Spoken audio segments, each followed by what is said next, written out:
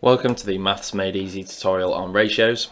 Uh, so this is the second video on this topic. We'll cover a couple more skills in this video starting with scaling ratios. So in this example, meringue is made by mixing cups of egg whites and cups of sugar in the ratio of 3 to 7. How many cups of sugar are needed if 12 cups of egg whites are used in the mixture? Uh, so when we scale a ratio, uh, what we do is we scale both uh, parts of the ratio, or as many parts as there are, by a common factor. Uh, so that's a scale factor. Uh, so we have to work out what that scale factor is. Uh, so if we have 12 cups of egg whites uh, and the ratio is 3 to 7, then if we divide 12 by 3, that will give us the scale factor, so that's 4. Uh, so now we just need to multiply the other part of the ratio by the same factor, and that will give us how many cups of egg whites, oh sorry, cups of sugar we need. Uh, so that is 4 times 7, which is 28, uh, so we need 28 cups of sugar. Uh, so just for the sake of completion, uh, let's just write out the full ratio that's been scaled up.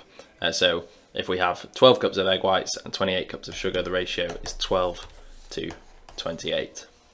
So moving on, uh, the next skill we'll look at is part to whole ratios.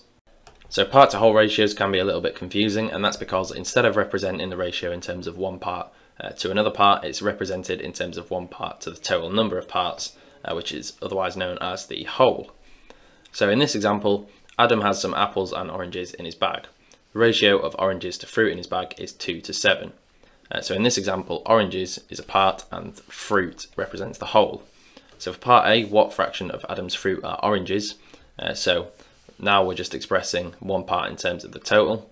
And if fruit is the total and oranges are the part, then uh, the answer to part A is 2 sevenths, uh, because two parts oranges to seven parts in total. So for part B, what is the ratio of oranges to apples? Uh, well, we know how many oranges he has.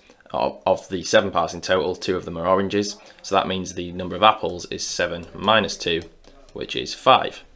Uh, so now we can express the ratio of oranges to apples, seeing as though uh, the parts oranges are two and the parts apples are five. Uh, so the answer to part B is two fifths. Now understanding ratios is a really important skill for your exam, so if you want to get some practice then you can have a go at our online exam. It's available through our revision platform, and if you take the test you'll find loads of different questions to have a go at and you'll get instant feedback on each and every one. So this will allow you to keep track of the areas that you're weakest at and where you need to improve. And so if you're interested then click the link below, it will take you straight there.